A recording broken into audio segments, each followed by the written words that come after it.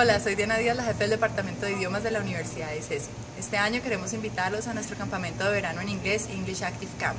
Es una actividad de vacaciones para los niños entre 3 y 13 años, donde pueden venir a disfrutar de actividades en inglés, a participar. Vamos a tener actividades de culinaria, deportivas, eh, artísticas. Los niños vienen, practican inglés, incluso los que no saben inglés pueden venir a practicar, a participar, a aprender vocabulario, seguimiento de instrucciones.